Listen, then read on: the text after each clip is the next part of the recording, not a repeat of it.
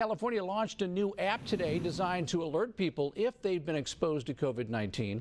Fox 11 reporter Karen Cruz Orduña explains how it works and how to sign up. It's another tool to add to your, your arsenal. California Notify, a free new statewide high tech tool that gives users the option to sign up to be notified if they were exposed to COVID 19. It is voluntary. Uh, if you want to use it, you have to opt in. Some Santa Maria residents are going to opt out, and their main concern is their privacy. I don't want them tracking me. I don't want them knowing where I'm at. I don't want I don't want to provide my information. But according to the state, they're telling us is the system never collects or shares any location data or personal information with Google, Apple, or the state.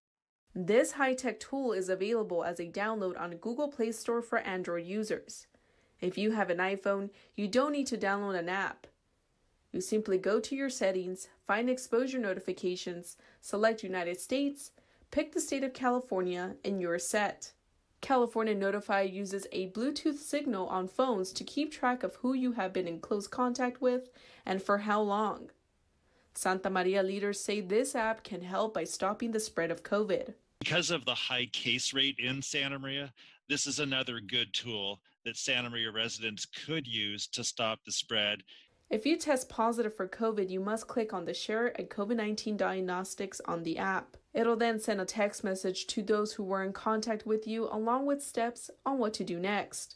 We reached out to the San Luis Obispo and Santa Barbara County Public Health Departments, and they said they are working with the state officials to find out how they can use the app on a local level.